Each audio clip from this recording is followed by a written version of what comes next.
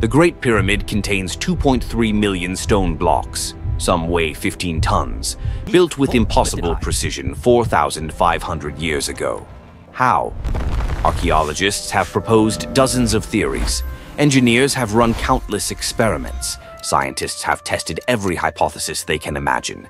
And yet, the mystery remains unsolved. Today, we're counting down every possible explanation, from the most accepted to the most unthinkable. 23 theories. One impossible construction project. The answer might shock you. Theory number 23. The Rolling Log Revolution. For over a century, engineers have wondered, how do you move a 15-ton block of limestone across desert sand? The answer might be hiding in plain sight, wooden logs creating an endless conveyor belt of stone. As blocks move forward, workers relocate logs from behind to front. The ancient Egyptians imported thousands of cedar logs from Lebanon for ships. Why not use them for pyramids? This method explains how small crews could move enormous blocks with minimal friction using simple engineering and plenty of wood. evenly beneath the stone. Heave, brothers! Pull together! Sometimes the most revolutionary ideas are the simplest ones. Theory number 22 The Precision Cutting Conspiracy. In 2024, laser measurements revealed something impossible. Pyramid blocks fit together with gaps smaller than human hair.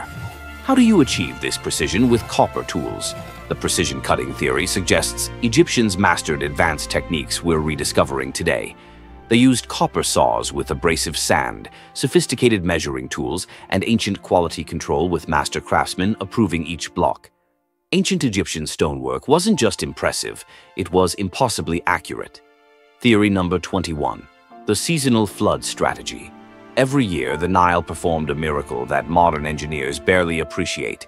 During flood season, boats reached within hundreds of meters of Giza. What if Egyptians timed construction around this annual event? This theory suggests pyramid building was a dance with nature. Flood season, transport blocks by boat. Dry season, move stockpiled blocks into position. Recent harbor discoveries at Giza support this theory. The pyramids weren't just engineering feats, they were masterpieces of logistics and timing. Theory number 20 The Copper Tool Mastery.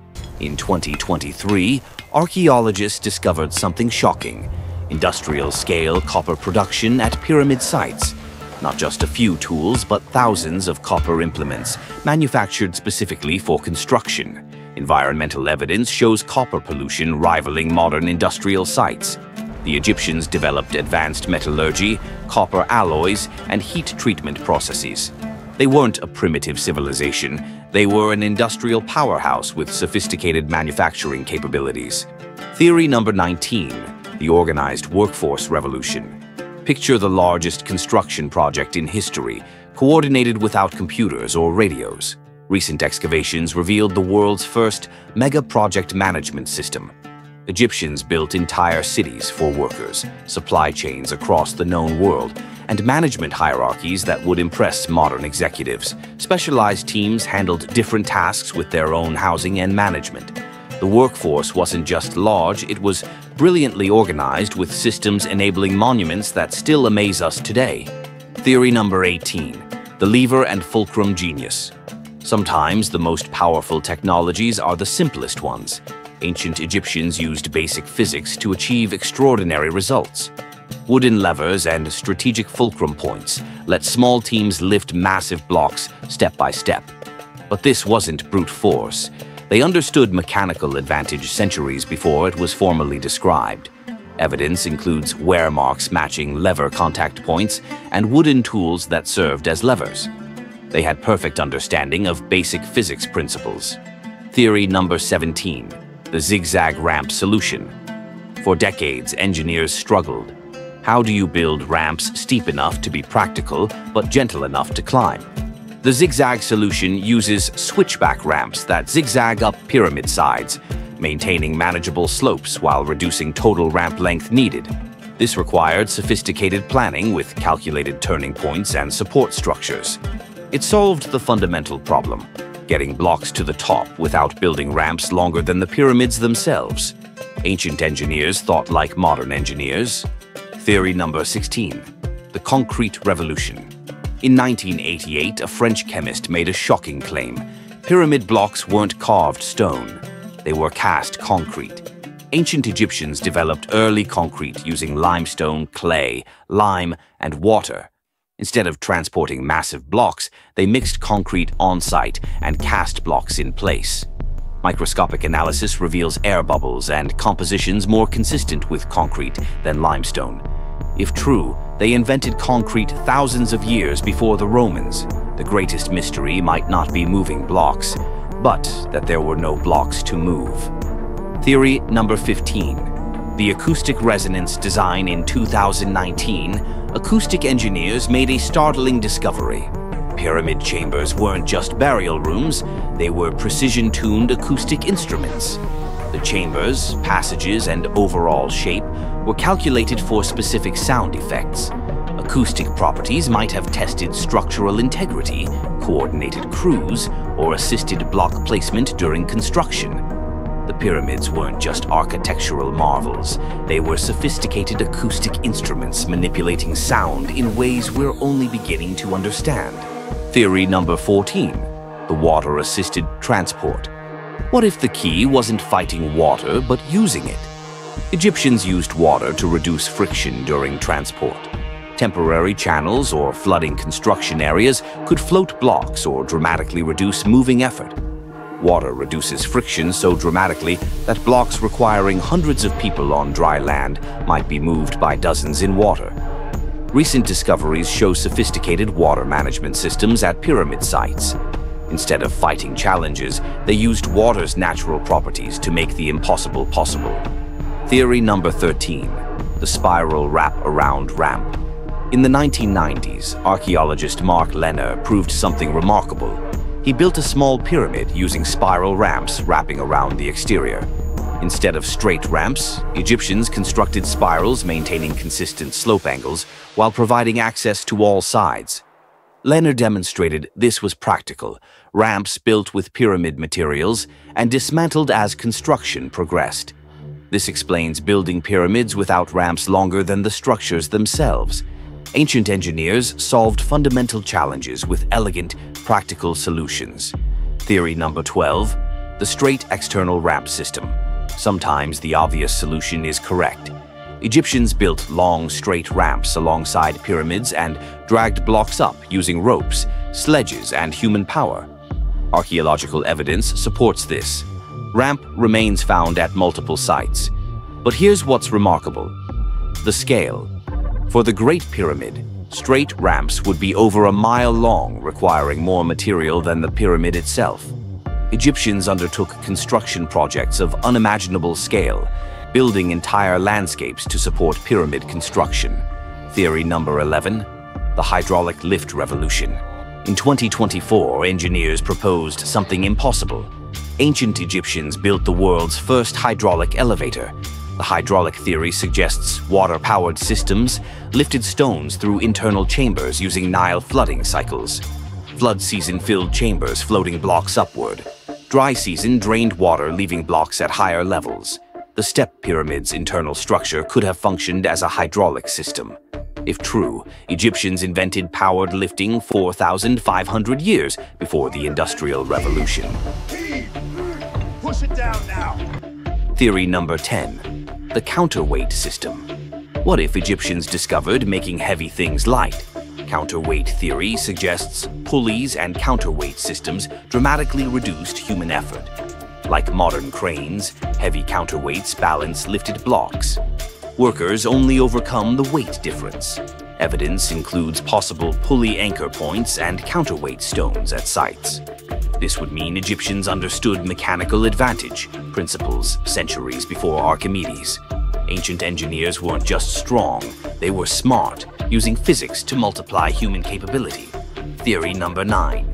The internal ramp mystery. In 2007, French architect Jean-Pierre Houdin changed everything with 3D modeling suggesting internal spiral ramps transported blocks to upper levels. External ramps for the bottom third, internal spirals for upper sections. This eliminated massive external ramps while providing pyramid peak access. Scan Pyramid's discoveries support this internal voids and passages that could be ramp remnants. If true, the pyramid was designed as a construction machine with built-in ramp systems.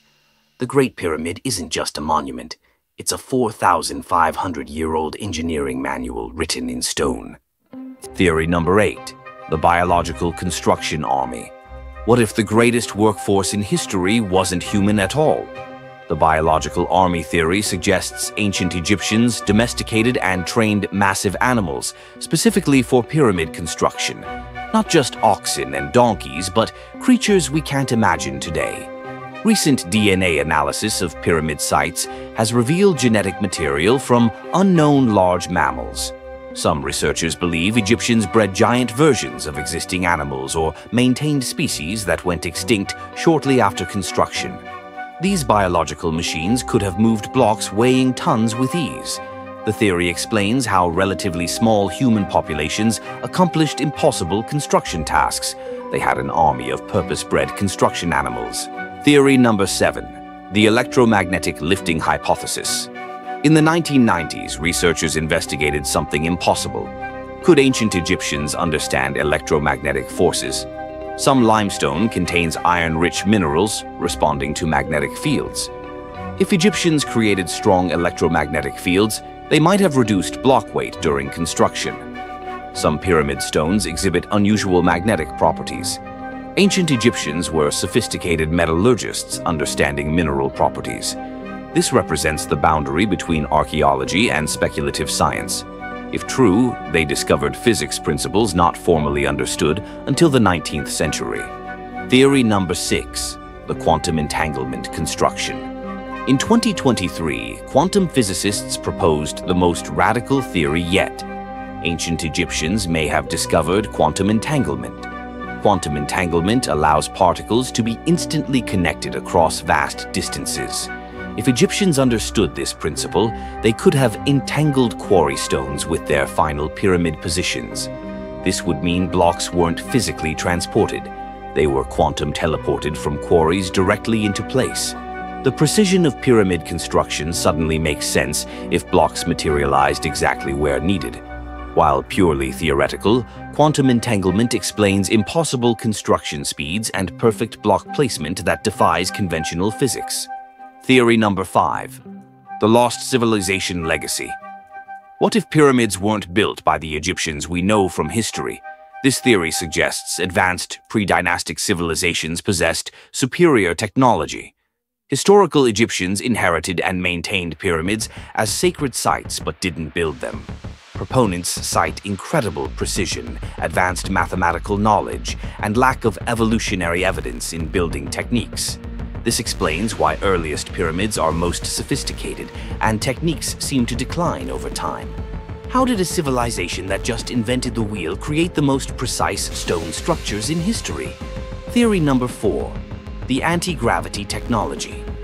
Brace yourself for a theory challenging everything about ancient capabilities. Anti-gravity theory suggests Egyptians possessed technology manipulating gravitational forces, making massive blocks weightless during construction. Using scientific principles we're discovering through electromagnetic field manipulation. Proponents cite impossible precision, massive block weights, and legends about objects floating during construction. While scientifically unsupported, this represents the ultimate explanation. If you make stones weightless, moving them becomes trivial. Our ancestors may have achieved technological capabilities we're still trying to understand. Theory number three, the temporal displacement method. What if ancient Egyptians didn't build the pyramids in the past, but in the future? Temporal displacement theory suggests Egyptians discovered time manipulation allowing them to construct pyramids in accelerated time bubbles where years of work happened in days. This explains impossible construction speeds and why no intermediate construction stages exist in the archaeological record. Workers entered temporal fields where time moved differently, completing massive construction projects in what appeared to be impossibly short periods. Quantum mechanics suggests time dilation is possible. If Egyptians mastered temporal manipulation, they could have built monuments that seem to defy the constraints of human labor and ancient technology. Theory number two, the extraterrestrial assistance. Prepare for the theory, captivating imaginations for decades. Extraterrestrial assistance suggests pyramids were built with help from advanced alien civilizations visiting ancient Earth. The precision, scale, and sophistication exceed ancient human capabilities. Proponents cite celestial alignments, construction precision rivaling modern capabilities, and ancient texts describing gods descending from sky. This theory gained mainstream attention through Chariots of the Gods and Ancient Aliens. While lacking scientific evidence, it offers simple explanation for the impossible. If humans couldn't build pyramids alone, maybe they had help from advanced beings. Theory number one, the interdimensional construction. Welcome to the most mind-bending theory ever proposed. Interdimensional theory suggests ancient Egyptians accessed technologies manipulating space, time, and dimensional boundaries during construction. Massive blocks weren't moved through normal space, they were transported through higher dimensions where normal physics don't apply. This explains impossible precision, seemingly impossible construction timeframes, and aspects that continue defying explanation. Ancient Egyptians possessed dimensional physics knowledge we're discovering through quantum mechanics. While purely speculative, this represents the ultimate explanation. If normal physics can't explain construction, maybe builders weren't constrained by normal physics. The greatest mystery isn't how they were built, but that they may have used reality principles we don't yet understand.